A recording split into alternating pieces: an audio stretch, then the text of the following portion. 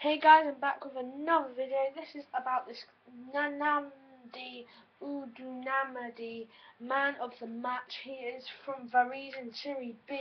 He is a right winger, um, and he's got 94 pace for one of his stats. 94 pace, that'll be insane. He's near one of the quickest right wingers in the game, like Theo Walcott, Yang's team this season.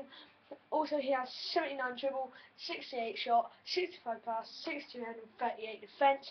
He's a three-star skiller, three-star weaver, and they are pretty good stats for a right winger and a silver in FIFA. He is a real. I if you have a Serie B team you want to make, or a man of match team you want to make, or a Nigerian team you want to make, or a Varese team you want to make, get him in there if you have the money, or you have got him in a pack, luckily. So, guys, I would watch out for him. He's got 94 pace. He's a decent player. Um, and I would say he's 5 foot 9, so he's that is a really good pace for a person at that height.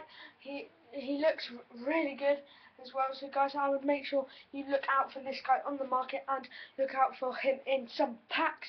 So guys, yeah, watch him out for some packs. Yeah, so guys, this has been the end of this video. Make sure you look for this guy on the market. He is absolutely insane and impacts. So yeah, guys, has been the end of this awesome, absolutely awesome video. Yeah, so guys, this has been the end of this Nnamdi Dumadi Man of the Match. Make sure you like, subscribe. I'll see you guys later.